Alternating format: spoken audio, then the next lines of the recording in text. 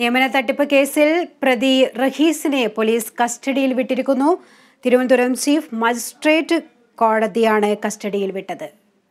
വിശദാംശങ്ങളുമായി തിരുവനന്തപുരത്ത് നിന്നും വിഷ്ണു കരുണാകരൻ ചേരുന്നുണ്ട്.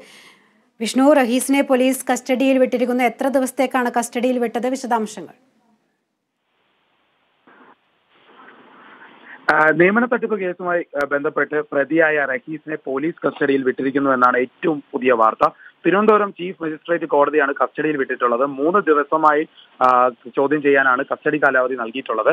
പ്രധാനമായും റഹീസിനെ ചോദ്യം ചെയ്യുമ്പോൾ കൂടുതലായും അന്വേഷിക്കുന്നത് അഖിൽ സജീവിന് കേസിലുള്ള പങ്കിനെ കുറിച്ച് തന്നെയായിരിക്കും. അഖിൽ സജീവുമായി ബന്ധപ്പെട്ട കേസാണ് ഇതെന്ന് ഒരു സൂചന ലഭിച്ചതും അന്ന് റഹീസിനെ ചോദ്യം ചെയ്തപ്പോൾ തന്നെയായിരുന്നു.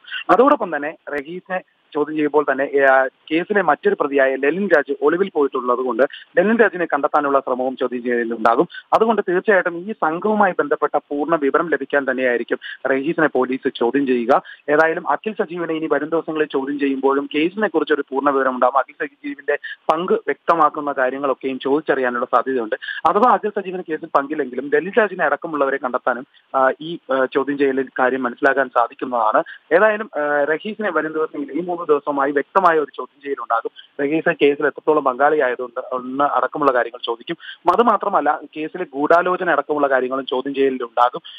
ഈ ആരോഗ്യ വകുപ്പിനെതിരെയും അല്ലെങ്കിൽ ആരോഗ്യ മന്ത്രിക്കെതിരെയും ഒക്കെ ഉണ്ടാകുന്ന ആരോപണം ഈ ഒരു കേസിൽ തട്ടിപ്പിൽ ആരോഗ്യ വകുപ്പിന് പങ്കുണ്ടെന്ന് ചൂണ്ടിക്കാണിക്കുന്ന കാര്യമായി നേരത്തെ പ്രതികൾ കണ്ടെത്തിയിരുന്ന കാര്യങ്ങളൊക്കെയും ചോദ്യമാവും.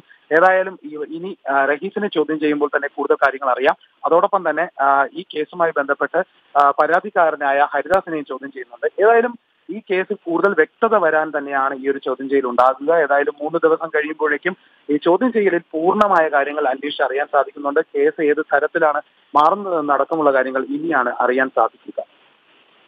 വ്യക്തമാണ്. നിയമന തട്ടിപ്പ് കേസിലെ പ്രതിയായ റഹീൻ റഹീസിനെ പോലീസ് കസ്റ്റഡിയിൽ വിട്ടിരിക്കുന്നു. മൂന്ന് ദിവസത്തേക്കാണ് കസ്റ്റഡി കാലാവധി. തിരുവനന്തപുരം ചീഫ് മജിസ്ട്രേറ്റ് കോടതിയാണ് കസ്റ്റഡിയിൽ വിട്ടത്. ഇയാളെ ചോദ്യം ചെയ്യുന്നതിലൂടെ കൂടുതൽ വിവരങ്ങൾ ഗൂഢാലോചന അഖിൽ സജീവുമായുള്ള ബന്ധപ്പെട്ട വിവരങ്ങൾ എല്ലാം തന്നെ ചോദിച്ചറിയേണ്ടതുണ്ട്.